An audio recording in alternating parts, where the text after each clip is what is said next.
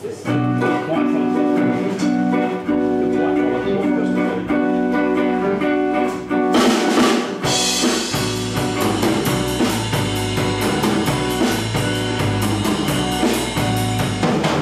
on, darling.